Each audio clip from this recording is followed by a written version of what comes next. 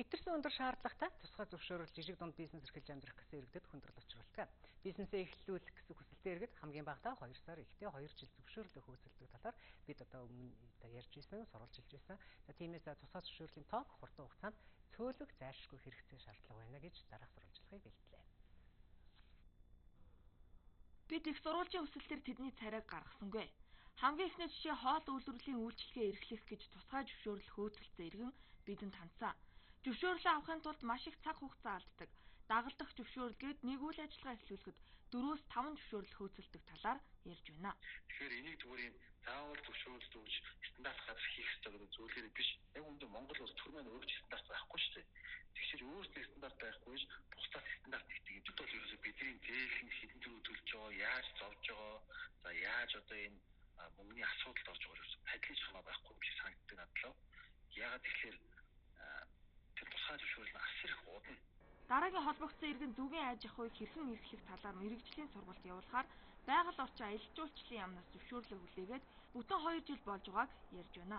Жишээлбэл би нийслэлийн засаг даргын тамгын газар нийслэлийн байгаль орчны э, газраар өөрийнхөө тусгай зөвшөөрлийн э, судлуулад шинжүүлээд дэмжүүлээд байгаль орчны яамд аваач өгсөн.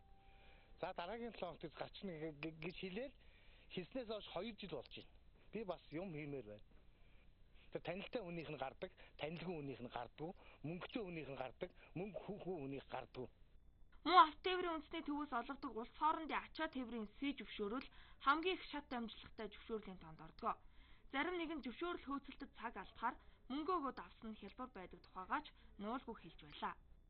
Том том шаардлагууд тавиад тэгээд тэрэнд нь тэгээд тэнцдэг компани гэж байхгүй. Тэнцвэрлэхийн тулд ажиллаглын юм явагддаг л та. Тэгээ наад чи уус нөгөө өөрийн гэсэн анштай болсон. Цээ зөвшөөрөл сүүлд бол 1500 явна хүрч ирсэн байна. Бид олон төрлийн салбарт энэ тусгай зөвшөөрлийн асуудал хүндрэл учруулж байгааг их сурвалжуудын яриагаар баталгаажууллаа. Үүнийг дагаад дунд болон дээд шатлалын байгууллагад авилгалт цэцгэлж байгааг жижиг дунд бизнес эрхлэгчид ярьж байлаа. Өнөөдрийн байдлаар 998 тусгай зөвшөөрөл 54 байгууллагаас олгож байна. Гэхдээ дагалдах зөвшөөрөлтөд нийлээд 1600 орчим зөвшөөрөл хөөцөлдгөө.